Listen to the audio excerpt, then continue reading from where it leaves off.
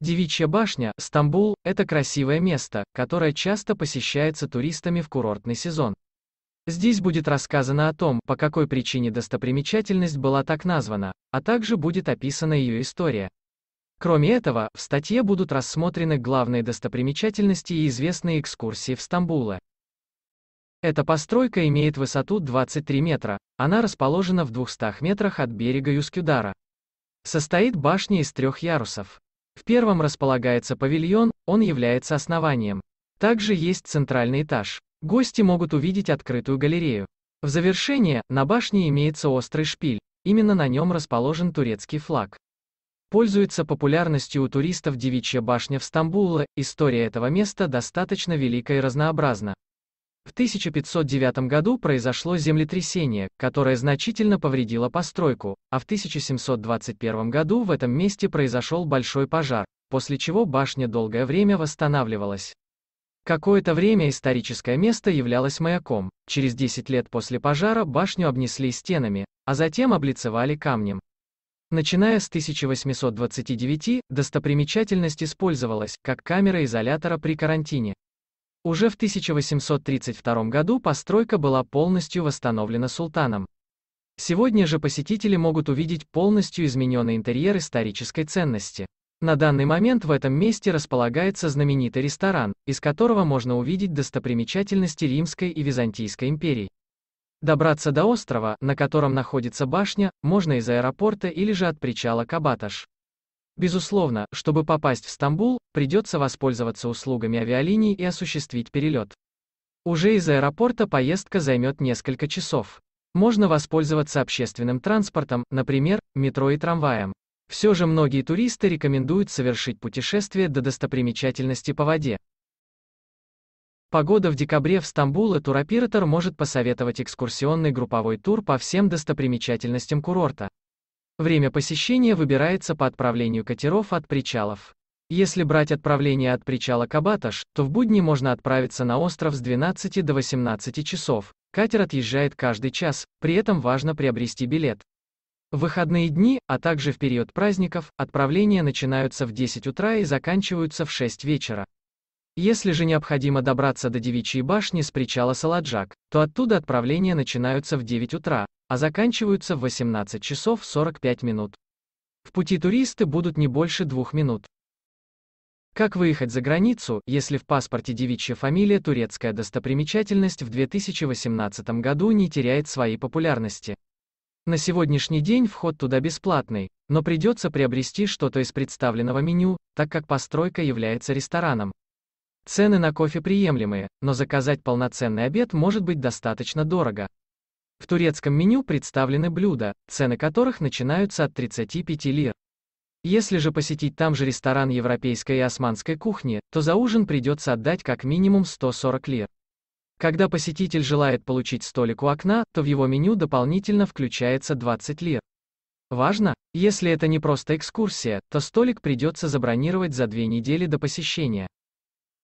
Туристы должны посетить Истекляль, Стамбул. Это одна из самых знаменитых улиц города. Здесь можно насладиться ароматами кофе, а также зайти в несколько магазинчиков. Также отдыхающие могут сходить в музей Стамбула, которых в городе несколько. Музейная карта Стамбула поможет найти достопримечательности городка, а также подскажет, как до них добраться.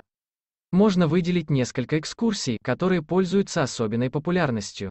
Его Величество Стамбул. Отдых в Стамбуле при посещении Стамбула без экскурсии такого плана просто не обойтись. Длится поездка около 6 часов, за это время путешественники смогут увидеть улицу Истекляль в Стамбуле, а также посетить сразу и Европу и Азию. Туристам представят самые популярные места курорта, а также возможность подняться на обзорную площадку неподалеку от кафе Пьера Лоти. Также отдыхающим предложат посетить Девичью башню и Восточный базар. Можно заказать эту экскурсию через сайт онлайн.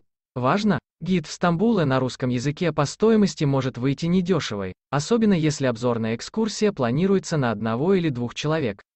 Чтобы сэкономить, лучше присоединиться к экскурсионной группе.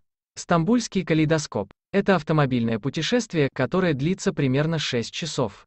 Здесь гид расскажет всю историю городка, а также проведет по улицам Стамбула. Отдыхающим представится возможность посетить Стамбульский музей современного искусства, а также другие важные достопримечательности. Особой красотой отличается знаменитый парк Миниатюрк в Стамбуле, его следует непременно посетить во время поездки.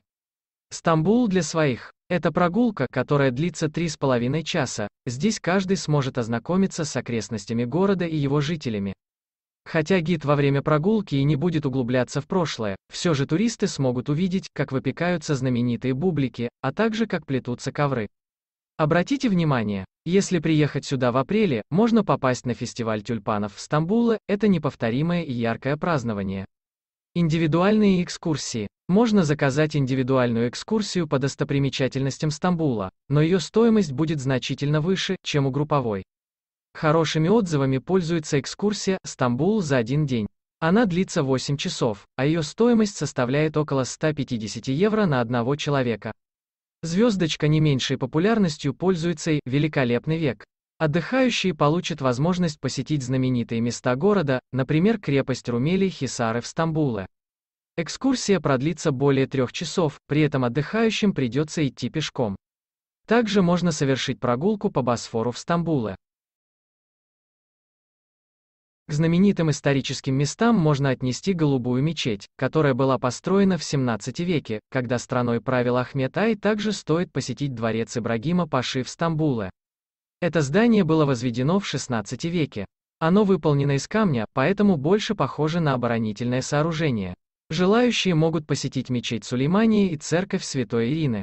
Для детей также здесь есть места, где им понравится, так как в курортном городе есть множество парков с аттракционами и развлечениями. Для тех, кто хочет посетить в Стамбуле Девичью башню, найдутся и другие интересные развлечения. Гости могут попробовать необычные блюда в ресторанах и кафе, посетить магазины и приобрести сувениры на память. Это красивое и солнечное место создано для отдыха. Звездочка цены указаны на 2018 год.